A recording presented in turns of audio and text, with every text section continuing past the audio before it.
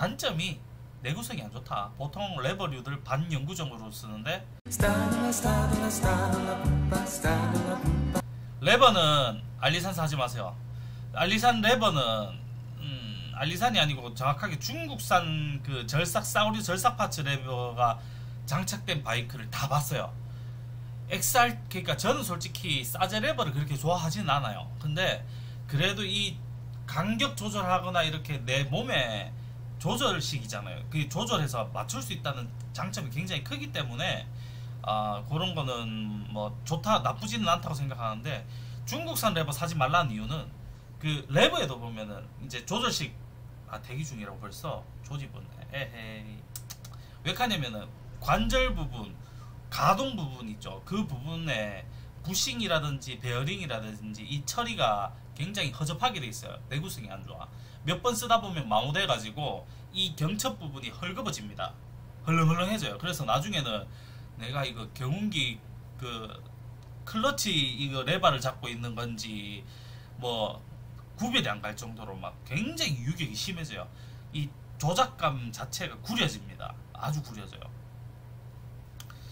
오토바이 같은 경우에는 브레이크나 클러치 같은 경우에 굉장히 정밀한 날카로운 조작감을 필요한 경우가 필요하다고 생각해야 경우가 아니고 근데 중국산 레버는 처음에 썼을 때는 괜찮을지 몰라도 이게 조금 사용 기간이 누적이 되면은 헐거워집니다. 100% 후회해요. 단점이 내구성이 안 좋다. 보통 레버류들 반영구적으로 쓰는데 난 또 뭐 하나 바꿔놓고 진짜 바이크 바꾸기 바꿀 때까지 계속 그렇게 쓴다 하면은 중국산 비추가 맞아요. 근데 자주 바꿔 낄 것 같으면 괜찮다. 확실한 거는 제가 보니까 어, 베어링 류 같은 거, 부싱 같은 거 이런 것들이 조금 아쉽긴 합니다.